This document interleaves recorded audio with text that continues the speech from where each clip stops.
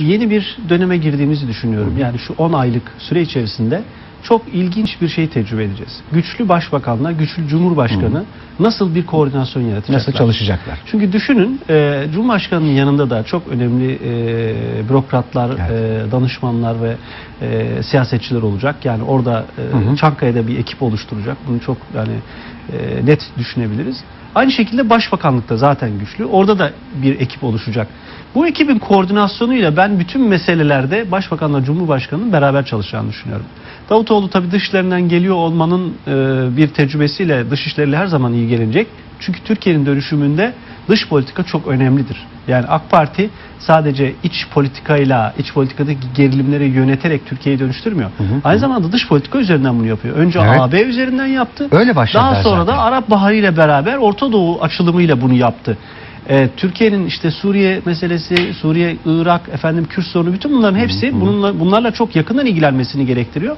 Ama e, ekonomiyle ilgilenmeyen, milli eğitim meselesiyle ilgilenmeyen, kültür meselesiyle ilgilenmeyen, tarım politikasıyla ilgilenmeyen bir başbakan olamaz. Dolayısıyla bunların hepsini bir şekilde koordine etmek durumunda.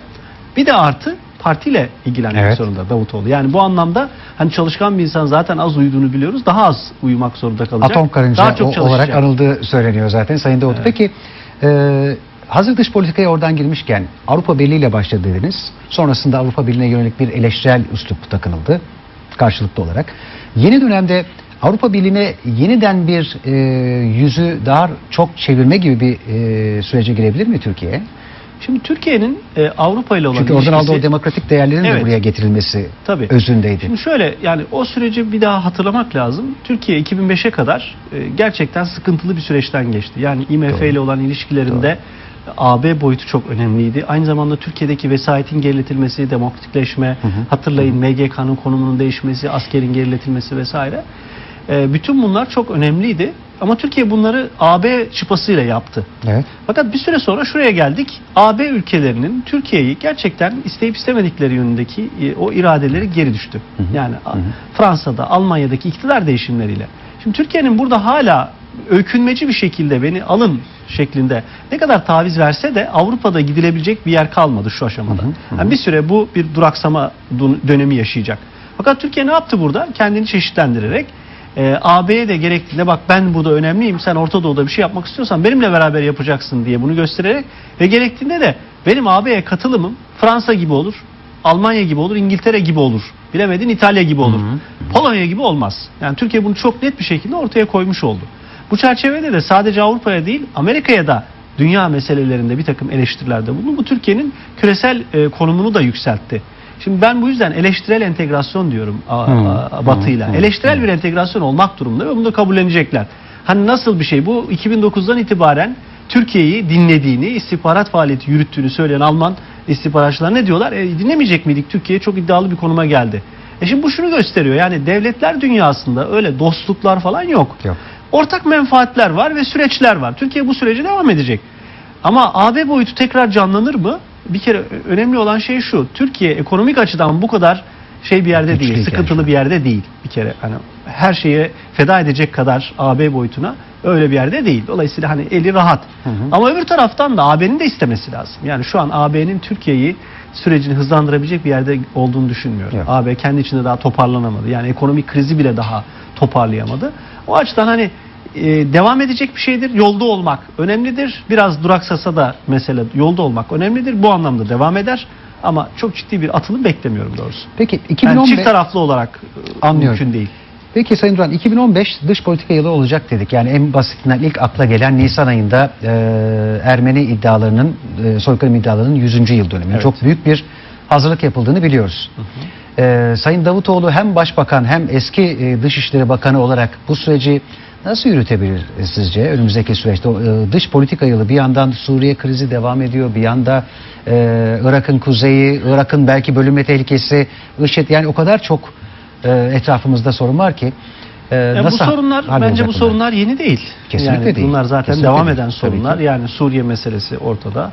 Irak'ta bir e, yani işit sebebiyle olumsuz bir gelişme var ama öbür taraftan da Maliki'nin gitmesiyle Irak'ta daha kapsayıcı Bir bir hükümetin evet. oluşma ihtimali var ve sonuçta Türkiye'nin pozisyonunun e, ne kadar haklı olduğunu gösteren de bir Doğru, gelişme bu. doğru. Ama orada or- ortaya ne çıkacak? Yani IŞİD nasıl kontrol altına alınabilir mi? Bu Kürt bölgesiyle olan bunun ilişkisi ne olacak? İran faktörü nasıl İran faktörü nasıl olacak? Sünniler mesele dahil olabilirler mi? Bunların hepsi uğraşılması gereken meseleler. Aslında genel çerçevede baktığımızda ana sorun şu. Arap Baharı'nın ilk o havası geçtiğinde hı hı, yani e, bahar havası geçtiğinde Çok sorunlar ortaya çıktı ve burada ilk defa şöyle bir şey yaşadık bölgede biz. Amerika'nın kısmi de olsa geri çekilmiş olması, bir takım meselelere müdahil olmuyor olması e, bölgesel güçlerin rekabetini getirdi. Türkiye burada şunu yapmaya çalışmıştı. Yani İran'la Suudi Arabistan arasındaki bir kutuplaşmanın e, Mısır'da denkleme Hı hı, sokarak aşılmasıydı. hı hı. Ama Mısır'da ihvanın düşüşüyle bu devrim karşıtı hareket daha öne geçti. Şimdi burada bölgesel güçler milli menfaatlerini gerçekleştirmeye çalışırken cephesel taktikler uyguluyorlar ve konu bazlı olarak e, işbirlikleri oluşturuyorlar. Yani siz Suriye'de diyelim Suudi Arabistan'a da yakın durabilirsiniz ama Mısır'da daha farklı yerde durursunuz. İran'la diyelim ki e, Irak'ta belki benzer bir yere gelirsiniz ama Suriye'de tamamen ters Hı hı, yerde hı hı. olursunuz. Bu Türkiye'nin Amerika ile olan ilişkilerinde de var. Yani Amerika ile bazı konularda anlaşırsınız, bazı konularda farklı yerlerde durursunuz. Bu siyasetin bu doğasına, Orta Doğu'daki bu doğasına alışmak zorundayız. Dolayısıyla ben kısa vadede bunların hiçbirisinde bir sürpriz, hızlı sürprizler beklemiyorum. Türkiye bunları belli ölçekte yürütmeyi devam etmek zorunda. Yani Suriye önemli bir e, mülteci akını getirdi Evet, ülkemize. evet. Ama yine de Türkiye bunun getirdiği yükü taşıyabiliyor. Yani burada en iyi olan şey belki şu. Türkiye artık bugün 100 milyon dolar, 300 milyon dolar, 1 milyar dolarla ekonomisi sıkıntıya girebilecek bir ülke değil. Pekala bu tür maliyetleri üstlenebiliyor ama tabii şu tarafı da önemli yani Suriye'deki insanların hala bu sıkıntı yaşıyor olmaları.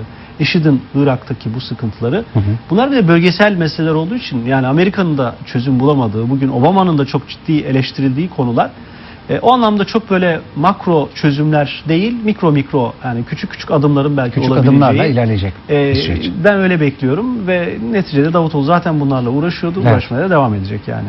Peki e, Sayın Hocam son sorumuzu soralım. E, Davutoğlu Başbakan olarak e, kabineni e, yönetmeye başladığı anda bir de muhalefetle karşı karşıya olacak doğal olarak. Evet. Hele az önce de e, e, sohbetin başında biraz konuştuk. 2015 genel seçimlerine giderken o sert muhalefeti de görecek belki. Peki muhalefet liderlerine karşı nasıl bir tutum e, takınabilir Sayın Davutoğlu? Hem e, yakinen tanıyan bir akademisyen olarak bunu size soruyorum. Yani karakterik, siz karakteristik özelliği açısından hem de siyaseten acaba nasıl bir politika izleyecek onlara karşı?